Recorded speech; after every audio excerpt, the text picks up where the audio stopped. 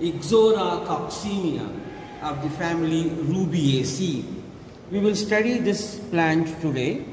Uh, I will just tell you the important characters of this family.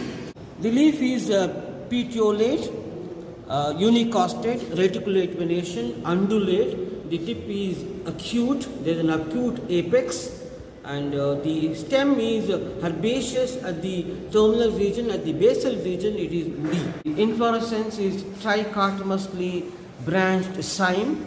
It's a cymose inflorescence which is trichotomously branched. The flowers are brightly colored tetramerous. You can see four petals are there and four stamens are there. It's a tetramerous uh, uh, flower. One important character is the interpetiolar stipule, inferior ovary. The ovary is uh, inferior. You can see the ovary, is inferior, ovary is at the bottom and then above that the calyx corolla are coming and uh, the corolla is hypocrateriform because the lower part of the petals are fused to form a tube. The terminal part of the petals are bent at right angles. You can see in between the two petals there is a, an anther. So the andisha, androecium is made up of four anthers with a polyandrous, dithecous and uh, the, they are dorsifixed introrse and they have a very short filament.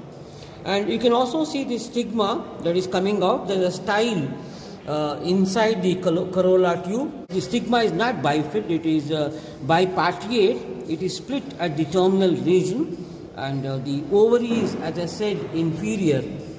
This is the flower of Ixora coccinea. You can see the inferior ovary and small calyx. The sepals are very small and the corolla is uh, forming a corolla tube and this condition is called hypocrateriform corolla where the basal region of the petals are fused to form a tube. Only the upper regions of the petals are spread out.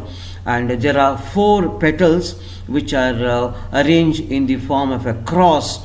And in between the petals there are four stamens. So it's a tetradynamous condition. The uh, stamens are inserted in the corolla tube the gynoecium of uh, Ixora is made up of uh, bicarpellary syncarpous bilocular inferior ovary. The style is inserted inside the corolla tube. The stigma in this case is bipartite.